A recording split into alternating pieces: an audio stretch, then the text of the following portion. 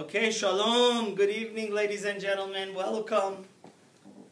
Uh, tonight is going to be on the Parsha mostly, but it's also considered part two of Mesilat Yesharim. This week's Parsha is Parashat Vayakel Pekudeh. So it's a double Parsha. And uh, being a rabbi almost 12 years, I've gotten a very, very important question that um, I have myself also. God forbid, we don't want to say the Torah is boring. But, you know, we have Yigal, he's a Balkore, very good one. My dear student is here with me. And uh, the question is, Rabbi, why, why does the Torah need to devote five parshas talking about the same subject? About building the original temple. This is Solomon's temple here. But the Torah talks about building the Mishkan, right? Where the Kohen Gadol serves. My goodness, we had Teruma, Tetzaveh. Even last week's Parsha talks about it, most half of it. Kitisa. Then again, two more Parshas, Vayakel Pekudeh. And uh, I must confess, I've done a survey in my own mind where this week's parsha, I hopefully my prophecy won't come true, but I don't know. Pay attention.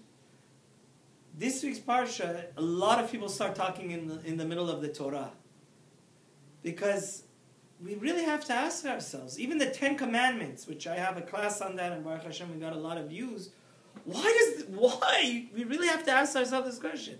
Why is the Torah devoting five, not one, not two, not three, five parshas to talk about what? Building the temple. So there's a very, very fundamental and relevant answer to this. Every single one of us should be ans- asking this question, and the answer is a very, very important stepping stone on how to get closer to God. See, you know, in Parshat Teruma, like it says up here, Vasuli mikdash v'shachanti betocham. The Torah says, make for me a temple, so I should dwell amongst them. So the Alshech, the great, great Torah commentator, a friend of the Arizal and the friend of the Bet Yosef, says, what is the Torah saying? My goodness. You should build for me a t- temple, right? It's a house of God. So the Shekhinah, the presence of God, should come in what? Inside that temple. Betocho. But what does the Torah say? Beto Cham. What does Betocham mean? Make for me a temple so I should dwell amongst them. So the Alshech says that you have to know the ultimate temple is not here. Of course, we have to have the utmost reverence and respect for the uh, in the time of Moses, the Mishkan, and nowadays we're not even allowed to go up here. You know that because we're tameh.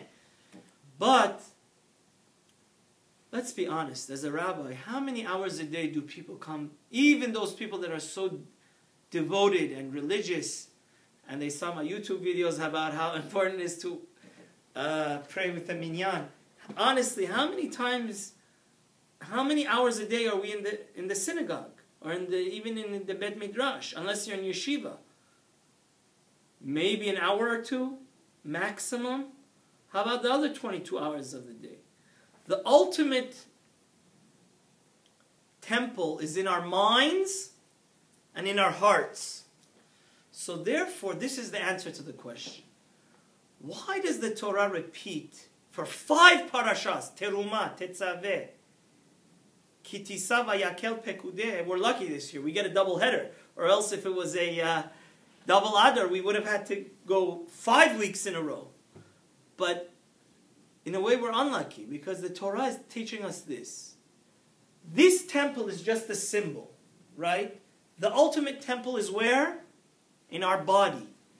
We have, and the Torah is teaching us don't think Jeru- Jerusalem was built overnight. We live in a society now nowadays, and this is why there's so much divorce. I heard from a very, very great, great, great psychologist and rabbi. He says one of the reasons why there's so much divorce is because look, we have instant messaging, instant microwave. You know, everything we have is disposable. You know, um, people get frustrated when uh, their uh, internet connection isn't at the maximum maximum speed. We want everything right now, right this second. But the truth of the matter is, God is telling us to build this temple, it takes at least five parshas. It takes five. See, the Zohar says a very important idea. To sin, to do the most despicable and. Do you need any meditation or preparation to sin? You don't need to go say Yechud to prepare. See, that's the unfortunate reality. When we get away from God, the, the low road, the road that is not the right way to take. When we take the wrong U-turn or the right curve, it's so easy to sin. You don't. But but honestly, let's ask ourselves a question: If the ultimate temple is in ourselves, right, in our hearts and in our minds, how difficult it is to pray three times a day, shacharit mincha with the proper kavanah it says that the original Hasidim, right, the Gemara, the beginning of the fifth parak of Berachot, it would take them one hour to meditate and one hour after to get to the proper what? Devotion. So this is one reason that we, we, we have to understand Christianity is total baloney. They say, oh, you just need to believe in cheese and crackers, Yeshu, and you have salvation. But what the Torah is teaching us, devoting five different parshas about the temple, the Torah is taking, telling it's a high, the highway to heaven requires a lot, a lot of toiling, a lot of self-control, and it takes a lifetime to become a true tzaddik and a true chacham. You understand? And like I was saying, why is there so much divorce in today's society? Because people don't have patience. People think that just like in uh, instant messaging, or you, you just throw noodles when you're in college, right? You throw food into the microwave, it's ready in five minutes. A marriage can be just, you know, you need to build love. And if you need to build love between a husband and a wife, for sure to build love with your Creator, because the ultimate, the Zohar says, the ultimate, ultimate, ultimate, ultimate goal of all the Torah we learn and all the mitzvot is, you know what? Bedechilu urachim. To love God and fear God. To be so. Only the people that are attached to God, with all the temple, the presence of God is attached to them in their hearts and in their minds, those people are truly alive. You see a lot of people, they seem alive, right? They do bungee jumping, they do skydiving. Those people are not alive. Those people are actually trying to, they feel so dead inside that they have to do something that almost brings them to death to feel what? But the true person that's alive is what? The true person that's alive is somebody that has a true love of God and is attached to God in his mind. So that's what the Zohar says. To do a sin is very easy. You don't need preparation. But to do a mitzvah, you need a lot, a lot, a lot of, you have to shut out all the, te- you have to first of all turn off your phone, right? You want to connect with God, you need to turn off your phone. That's why Shabbat is so important. We really turn off all what? The physical. The ultimate day to connect to your Creator is what? The ultimate day to create, connect to your Creator is what? Shabbat. So Reb Shimon Bar Yochai teaches us to build our relationship with God is a very difficult and long, long journey. It's a long road ahead of us. That's why um, I just wanted to tell you that we know that on Thursday nights we try to do Mesilat Yesharim. We haven't done it for a while, but You know, the Ramchal, one of the greatest, greatest rabbis that really made it practical, the science of Kabbalah, of the Arizal, says that he wrote a book, How to Get to Spiritual Perfection. And how many steps does it have? It says, first of all, you have to know what your mission is in life, right? Why were you created? Then the second step is zehirut, to be careful, to keep not transgress any of the negative commandments of the Torah. Then the next step is zerizut, to be swift and have to realize how important and what a golden opportunity is to do a mitzvah, to be so swift, like you're running to win the lottery, like you're running to uh, get the best job of your life, right? Like, you know, if you have an interview for becoming the top lawyer in town, are you going to be late for that? No. So, zerizut is to understand how valuable the mitzvot are and to run towards them. Then you have to do nekiut, to be pure. Then perishut, then tahara, then chasidut. And then at the end of this ladder is anava, humility. True humility takes a lot of work. After that, that leads you to yirat chet. After that, the, the Ramchal, it t- takes you to kedusha, holiness. And after kedusha, you could get to the madrega of ruach hakodesh. That you become so close to God that you kind of, you're so in tune with holiness and spirituality, you get the sixth sense of knowing the future and God reveals. So, I just wanted to say one story that happened with one of my friends to illustrate this idea. And then we're going to do a short halacha because we want to. I want to connect the halacha to this week's parsha, and we'll be done. You know the Sef, the book Mesilat Yesharim that we're learning together. I just read to you the 15 steps is not such a thick book. So one of the greatest, greatest Torah scholars that was the, probably the greatest expert on Musar, ethics, in, the, in our generation, which he unfortunately just passed away eight, nine years ago, was Rav Shlomo Wolbe. He wrote Alei Shor. Anybody in yeshiva, I recommend that for the Bnei Torah, Alei Shor. Alei Shur. So one of uh, the people, I was learning in Yeshivat Mir, this is like 17 years ago, so somebody went to Rav Shlomo Wolbe Zatzal, the great, great Baal Musar, and he said, Rebbe, I've done the Mesilat Yesharim, I've studied it. You know, in the yeshiva, the longest semester is the winter semester. So for like a month, or, you know, a month and a half, he was studying the Mesilat Yesharim, and he said, listen, I went through it very slowly and every page, what does the Rebbe think I should do? Do you think I should start another book? Or, I don't know. I mean, it didn't really affect me that much. Rav Shlomo Wolbe told him amazing thing. He said, I personally learned it 40 times. On the 41st time, it started having effect of actually changing my day-to-day actions. And the Ramchal really writes that. So that's what the Torah is saying. This temple is a precious temple like a lawyer or doctor or a rabbi. Can you get to that wisdom overnight? Same thing. God is saying this temple that you have to build in your mind and in your soul, it takes what? It takes, since it's such a meaningful temple, it's going to take a very, very long time. And thank God you know, the greatest blessing is health.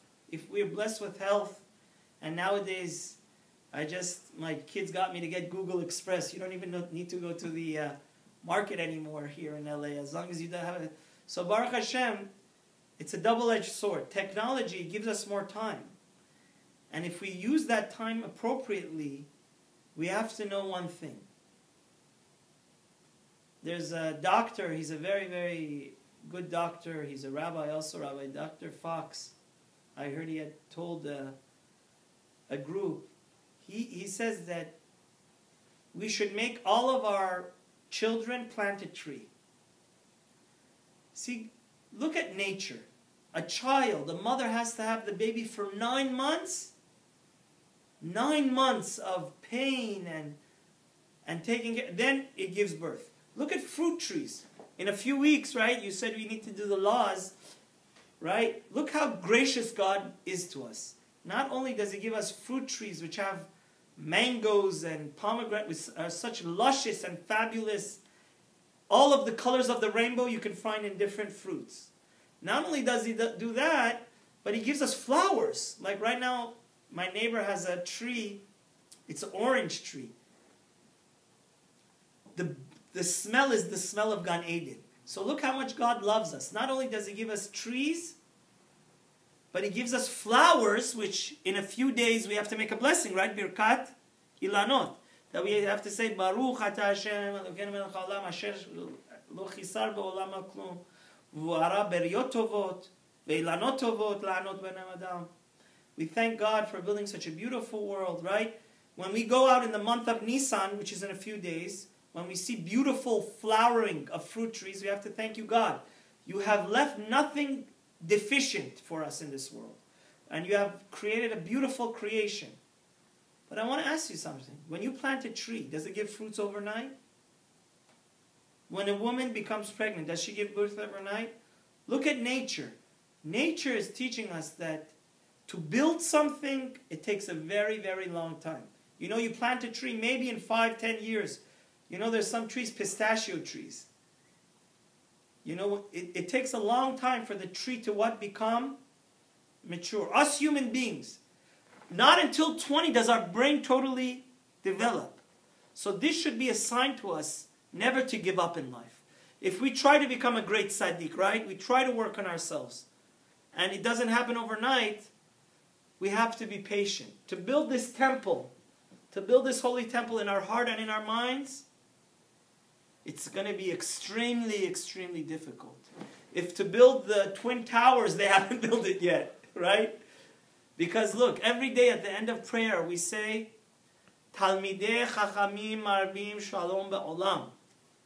שנאמר, בכל בנייך לימודי השם ורב שלום בנייך. אל תקרא בנייך אלא בונייך. Every day, part of our prayer at the end, and it's such an important lesson, says that the Torah scholars, they increase peace in the world. Why? Because it says, if all your children learn Torah, you're going to have a lot of peace. So it says, Al tikre banaich elo bonaich. Don't, the true meaning, the deeper meaning of the, the pasuk is, it doesn't mean the, your children, it means the builders. Who are the builders? The Gemara Shabbat Daf Kuf. The ultimate builder is the Talmid Chacham, the Torah scholar. See, when you want to bring God into your mind and heart, it's going to be extremely difficult. Don't think it's going to happen overnight. But is it a worthwhile mission? Is it, it is, is it a worth, worthwhile endeavor? Yes. You know why? Because when you build your character and you make your neshama super strong, that it's worthy of the heavenly presence of the Shekhinah, the energy and the spirit, the holiness of God to come inside of you, this is a building that will last forever. You understand? That's why Rav Yisrael Salanter said, he said it's easier to learn Shas to, to change one bad character. Some people are lazy, some people are um, they have no self-control, either sexually or eating, or some people are very egotistic, self centered, full of vanity. But we have to know this mission that God gave us, that's why He gives us a long life. He gives us 80, 90 years. When we build our character, when we build up our neshama to be worthy of the Holy Shekhinah to come inside our mind and our heart, it's the ultimate, ultimate structure. And that will reflect where we sit in the heavenly kingdom of God after 120 years. So may Hashem help us to realize, to become a truly, truly spiritual and heavenly Ben Olam Haba.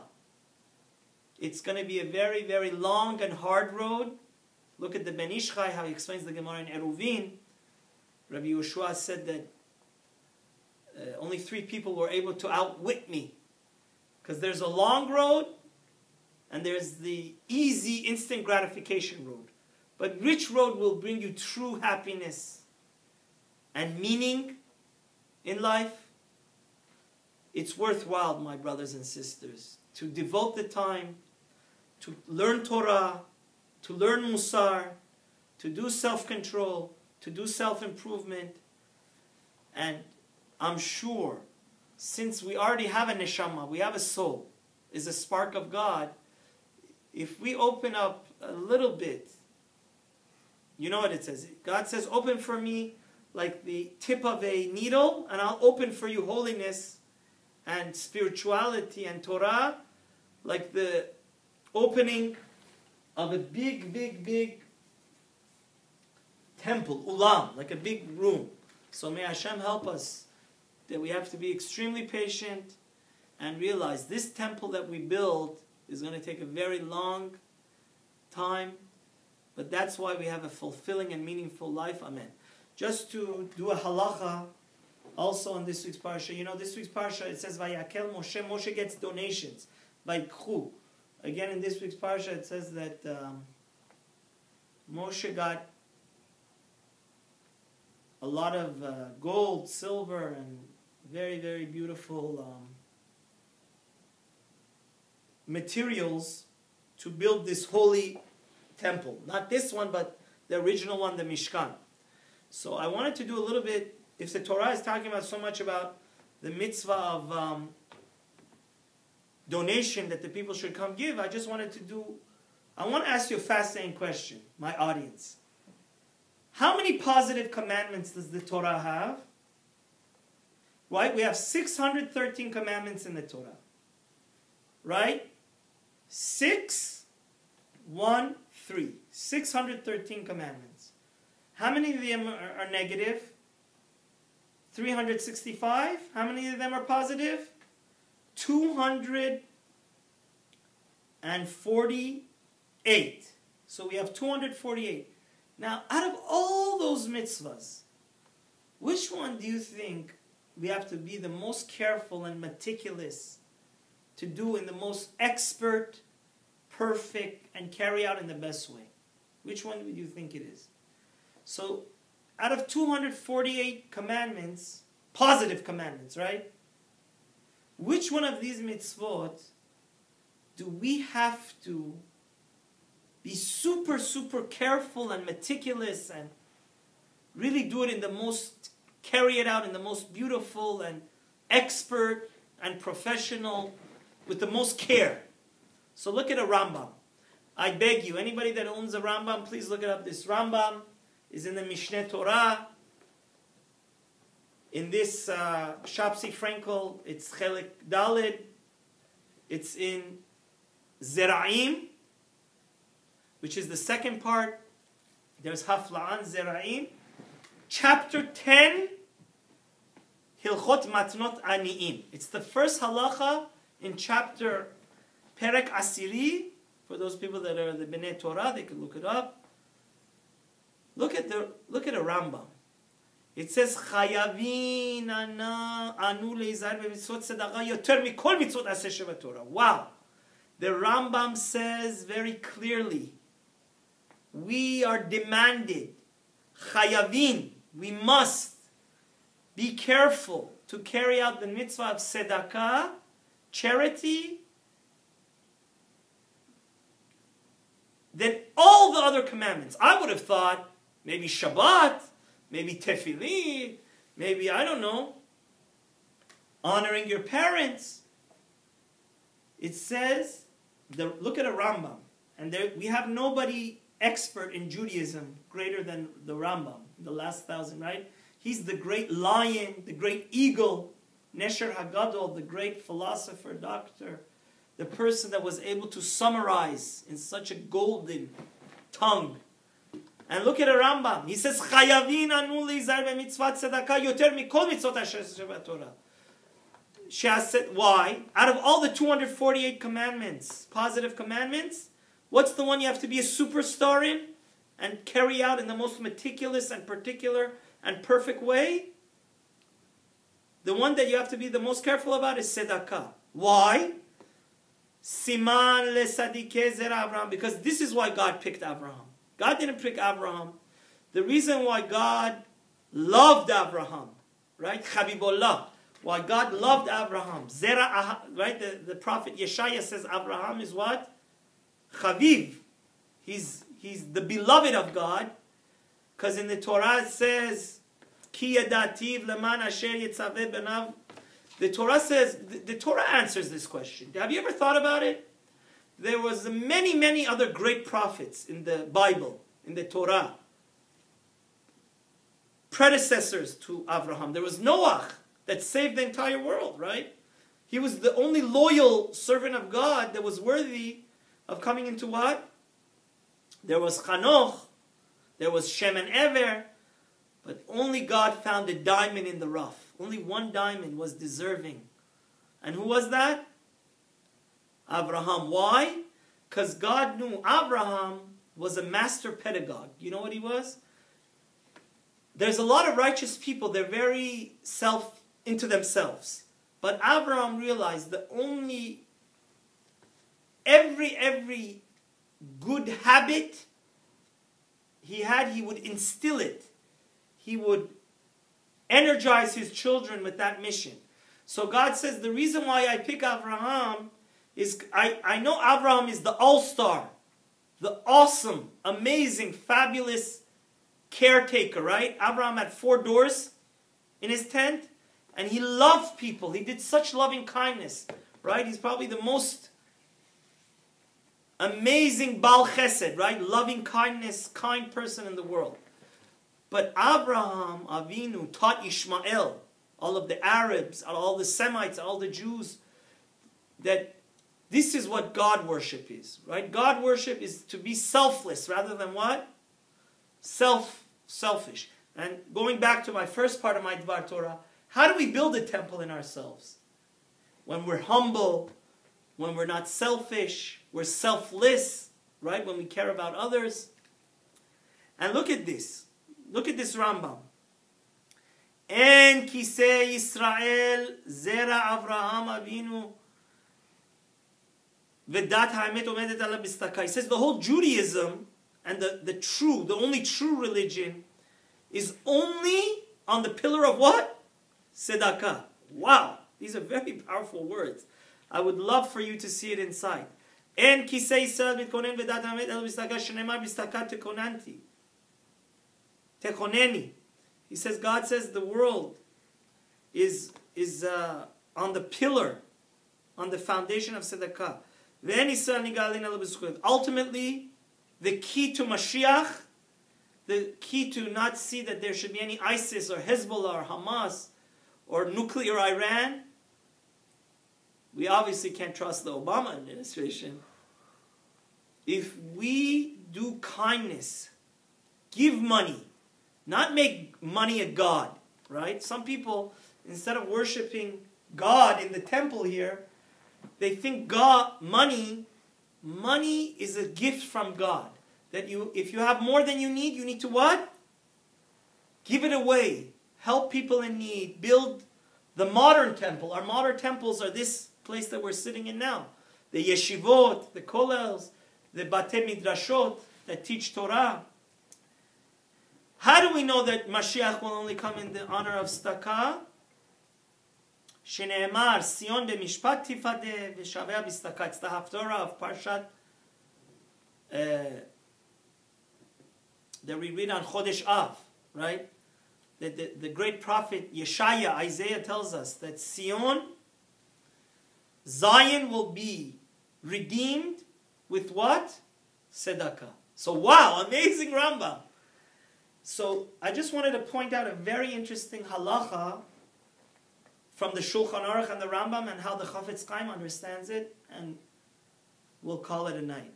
So we see that the Rambam says, out of all the 248 different mitzvot of the Torah, what's the one that we have to be super, super careful, right?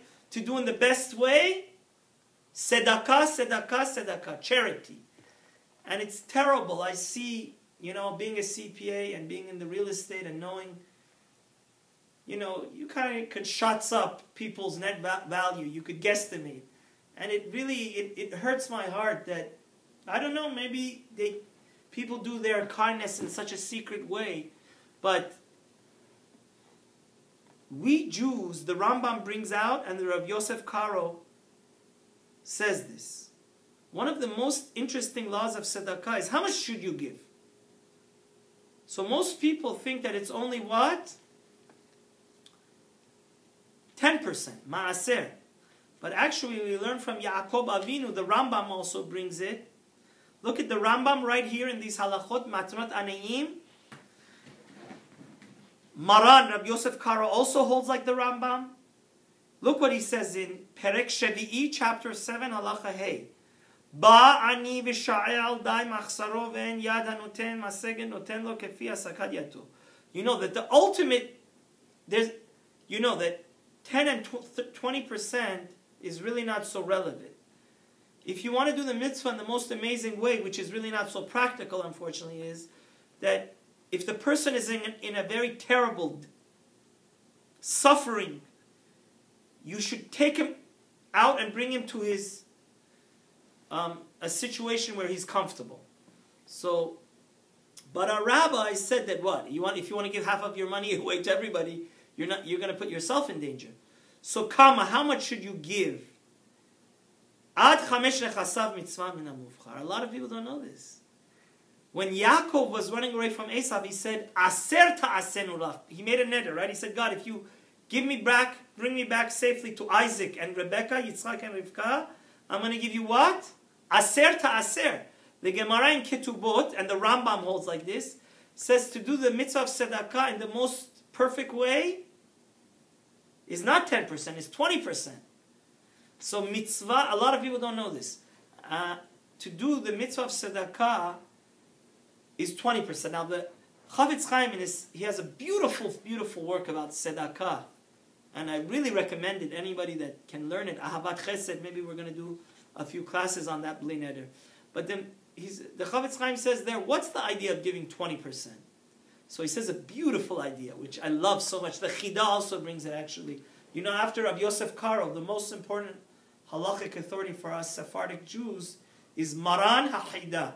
Some people say the same way that we accepted all the laws of Rav Yosef Karo, we also accepted all the laws of uh, Rabbeinu Chaim Yosef David Azulai, Maran HaChida.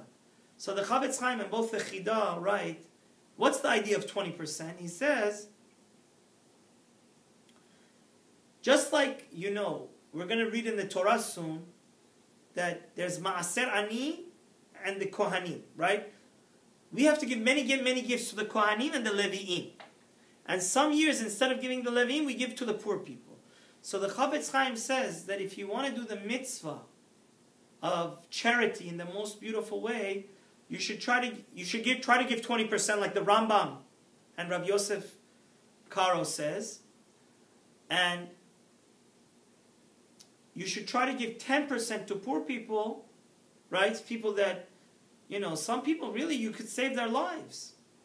There's an institution in Israel, it's called Efrat.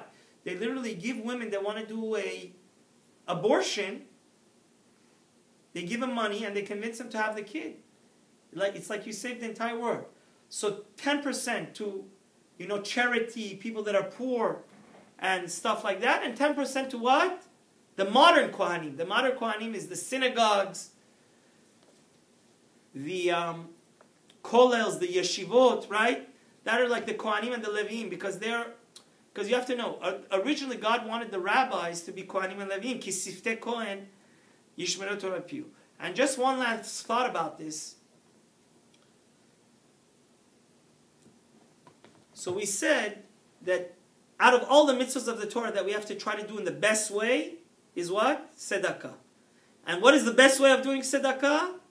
Giving 20%. So you may say, Rabbi, they laugh at me. 95, 99% of Jews don't even give 10%. What can I say? I'm a perfectionist. I just want to let you know, even if one person, so I want to tell you an idea from the Gra and an amazing story about this 20%. So one of my great, great mentors, which I have the unlimited amount of respect for is Harav Eliezer ben David, which Baruch Hashem, may God give him 120 years. He always is a big advocate to people that he's close to that he really pushes them to give the 20%.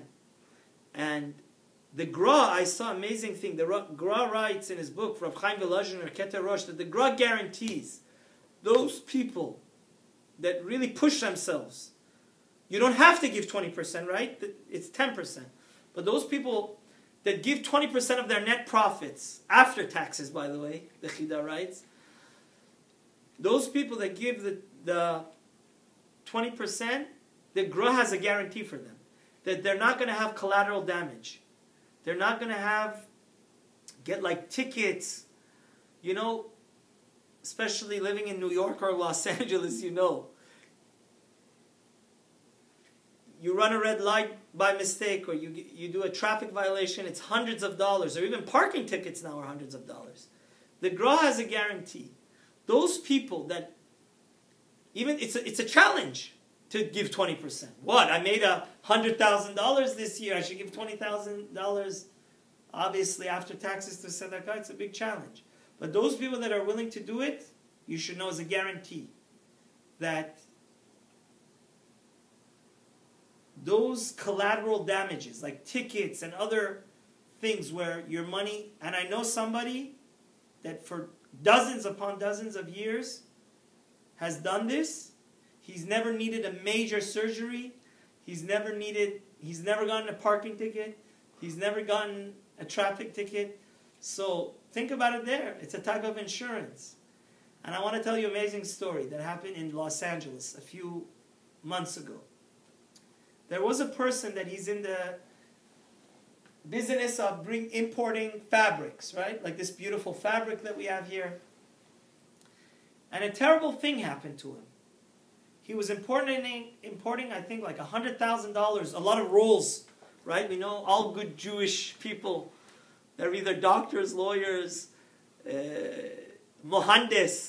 or they're in the fabric, right? You know, they're in the wholesale. He's, so he's a wholesaler of fabric. And unfortunately, it got stolen, his merchandise, in transit.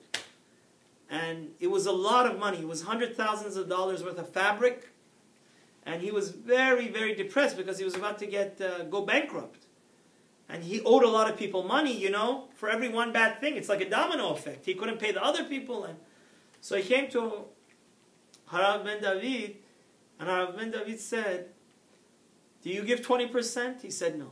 He said, "I want to." He said, "Rabbi, I'm in such a tough situation." He said, "Please." You know, he did it after three months the detectives, the FBI, they found the, the gang that had stolen it. It showed up. So what I'm telling you that when you give the 20%, it saves you from lawsuits and damages. So may Hashem help us to realize, let's just review, that this week's parsha is teaching us five parshas in the Torah are devoted to the temple to very simply teach us that the ultimate temple is in ourselves and it's not an overnight. Just like Jerusalem or Lahabdil Rome, right? wasn't built overnight. To become that great, great, great holy person is a long, long life endeavor. And to build this temple, the modern temples of charity, right? This was Parsha, all the Parshas, the Jews were so generous. The laws of Tzedakah, first of all, the most important mitzvah that we have to do in the best way is what? The Rambam writes in Perek Yud, Tzedakah. That's what brings Mashiach ultimately. And the best way to do it is to give what? 20%. So Shabbat Shalom everybody. Please don't forget to subscribe to our channel. It's called The Light, Ma'or Torah. Thank you for watching. This is Rabbi David Hekmacha from Ma'or Torah. And uh, always remember in life, love Torah, live Torah, and may the Torah always protect you. Amen.